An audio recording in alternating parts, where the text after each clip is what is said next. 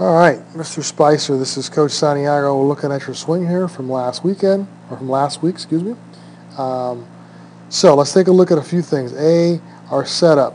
Good setup here, good balance position. Now we start moving forward, we're going forward to backward. I like the fact that our hands are going back while our, our front hip's going forward. Okay. Now we start to make contact. One of the things that we always talk about good hitters all have in common is a still head. Most guys don't move forward uh, and hit at a high level. So notice that our head's moving really aggressively forward, okay? So if we could try to keep that, try to think about your chin and your belly button kind of being as one, all right? Now, I like the fact that we are keeping separated pretty good here, all right? I'd also like to see this heel and this knee start to work in just a little bit earlier. So now we're at landing, we're starting to transfer that weight. I would love to see our back foot already in, in, in a turn slot, this knee already starting to fall forward, just to create a little bit more bat lag with your hands. Now as we come through, front back heel comes up, good head position, good extension through. Let's take a look what you're doing with your hands here. Okay, good extension there, good long high follow through.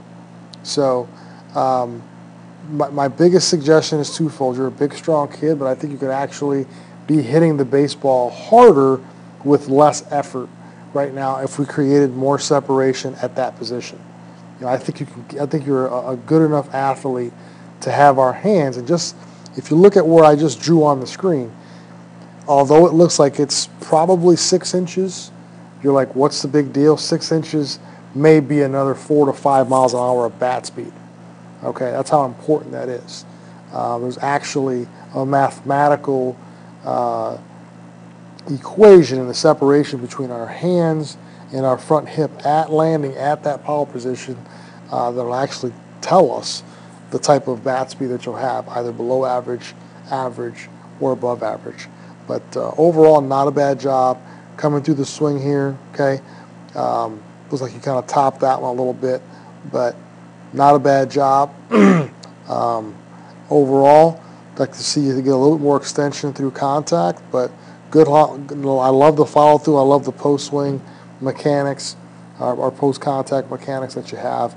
But I do think those two things, as far as head movement and separation, could definitely help your swing as you're moving forward.